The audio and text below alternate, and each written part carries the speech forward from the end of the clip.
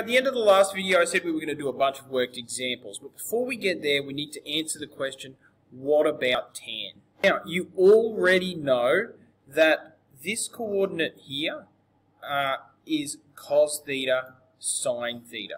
So you need to ask yourself, but what about the tan ratio? I've got a cosine ratio, a sine ratio. Where does the tan ratio fit into all of this?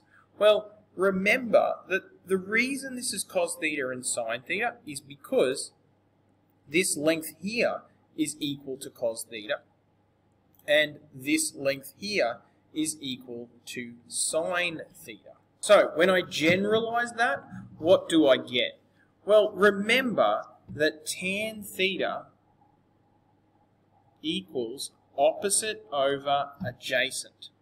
And now let's look at our triangle.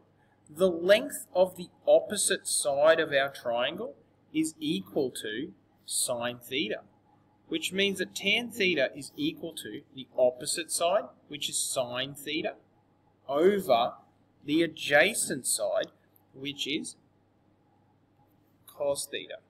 And so this video is going to be pretty short because the only thing you need to see here is that tan theta is equal to opposite over adjacent. And when we're looking at our unit circle, tan theta is equal to sine theta over cos theta. This is going to have implications in our next video when we do do those worked examples because as we move into quadrant 2, when we do sine theta divided by cos theta, we're going to get tan theta. And tan theta is going to be negative because one of those values is negative.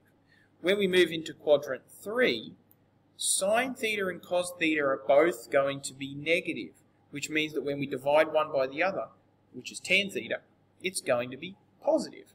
And when we move into quadrant 4, sine theta divided by cos theta, in this instance, sine theta is going to be negative, so tan theta is also going to be negative. So tan theta is going to be positive in here, negative in here, positive in here, and negative in here. Now, it might seem like I'm glossing over this. I'm not writing down a bunch of notes. I want you to get the basic idea of this, the fact that tan theta is equal to sine theta over cos theta. And I promise in the next video, we're going to do a bunch of worked examples and come up with some easy ways to put all of this together.